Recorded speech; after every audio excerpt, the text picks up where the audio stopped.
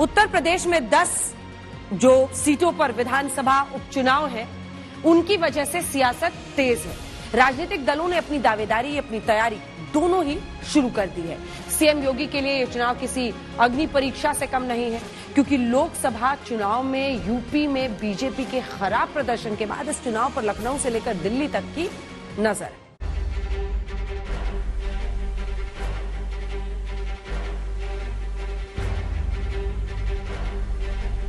चौदह, सत्रह, उन्नीस, बाईस। पंचायत चुनाव, नगर निकाय चुनाव, उपचुनावों में बना रहा यही मोमेंटम। 2027 में भी बनेगा।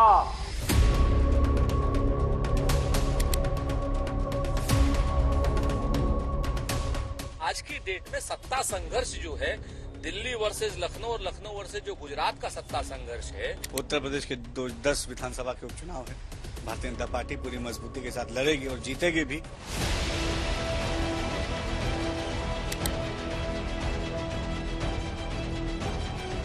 कोई कारण नहीं।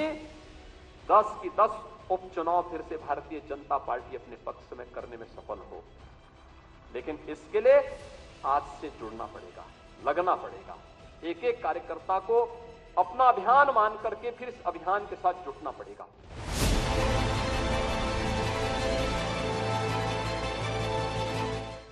उपचुनावों को जीतने में योगी आदित्यनाथ वैसे ही जुटे हैं, जैसे 2019 के आम चुनाव में 2018 के उपचुनावों में हारी हुई सीटें जीतने के लिए पूरी ताकत लगाई थी। 2018 में बीजेपी गोरखपुर, फूलपुर और कैराना लोकसभा सीटों पर हुए सभी उपचुनाव हार गई थी। लेकिन योगी आदित्यनाथ ने साल भर बाद ही हिसाब बराबर कर लिया। अब कुछ दिनों बाद उत्तर प्रदेश की 10 विधानसभा सीटों, करहल, मिल्कीपुर, कटेहरी, कुंदरकी, गाजियाबाद, खैर, मीरापुर फूलपुर मंझुआ और सीसामऊ पर उपचुनाव होना है। इन सीटों में पाँच सीटें समाजवादी पार्टी के पास हैं तो आरएलडी, निषाद पार्टी की एक एक सीटें हैं, जबकि बीजेपी की तीन सीटें हैं।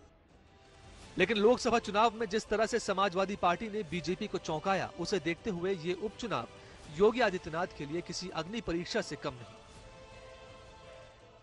उपचुनाव दसों की सीटों में से कितनी सीटें जीत रही इंडिया गठबंधन अभी जैसा परिणाम आया उससे बेहतर परिणाम आएगा। कुर्सी की लड़ाई में जनता बहुत परेशान है। ये उपचुनाव बीजेपी और खासकर योगी आदित्यनाथ के लिए नाक का सवाल है। समाजवादी पार्टी की कड़ी चुनौती के बीच योगी आदित्यनाथ उपचुनाव में बीजेपी को जीत दिलाने के लिए कमर कस चुके हैं।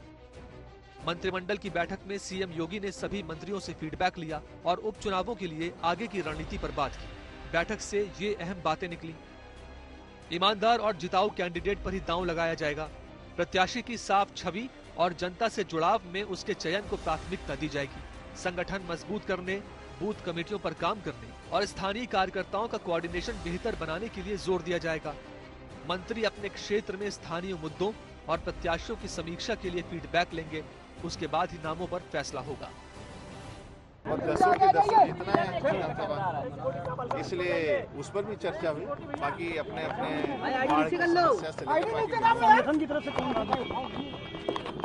मंत्रिमंडल की बैठक।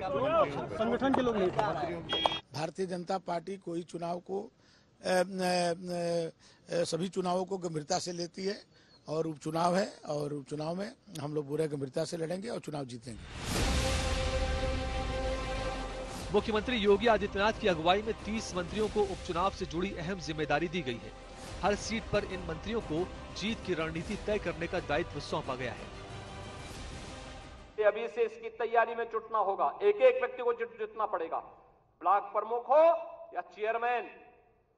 महापौर हो या जिला पंचायत अध्यक्ष, विधायक हो या विधान परिषद सदस्य, लोकसभा के हमारे मान्य सांसद हो या फिर राज्यसभा के मान्य सांसद, इन सबको संगठन के साथ बेहतरीन तालमेल बना करके, संगठन जिसको तय करे, उसके साथ खड़ा होकर के, प्राणपण से जुट करके, कमल चुनाव चिन्ह को विजयी बनाने के संकल्प के साथ अगर हम आगे बढ़ेंगे तो आपका भी सम्मान होगा। उत्तर प्रदेश की 10 विधानसभा सीटों पर होने वाले उपचुनाव राज्य और देश दोनों की राजनीति की दिशा तय करने वाले साबित हो सकते हैं। क्योंकि उपचुनाव की 10 सीटें आंकड़ों में छोटे नज़र आ रही हैं, लेकिन इसके नतीजे अगर बीजेपी के पक्ष में नहीं आते हैं तो इसे लोकसभा चुनाव के नतीजों की अगली कड़ी के तौर पर देखा जाएगा। एक ऐसा आईना जिसमें 2027 के विधानसभा चुनावों के लिए बीजेपी के अक्स पर संशय की लकीरें दिखाई देंगी।